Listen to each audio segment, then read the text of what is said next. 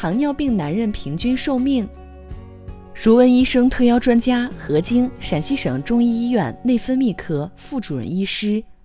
糖尿病人的寿命，不管是男性还是女性，他的寿命的长短，其实不是取决于他是否有糖尿病，而是取决于病人自我的管理是否合理啊。嗯，很多糖尿病人呢，呃，我的有一些糖尿病人，七八十岁的老年人，血糖自我管理非常好。啊，所以他的预期寿命是是很长的，但是也有一些临床上碰到的病人，可能也四十多岁、五十多岁的病人，但是由于他前期糖尿病人自我管理很差，血糖没有得到良好的控制，啊，相应的药物没有规律的使用，那么很早的出现了很多的糖尿病的并发症，比如说糖尿病的肾病啊。甚至会引起血压的升高、心血管的问题、脑血管的问题，这些都是危及生命的危险因素啊！所以，糖尿病人的寿命长短没有统一的标准，只有自我管理的良好，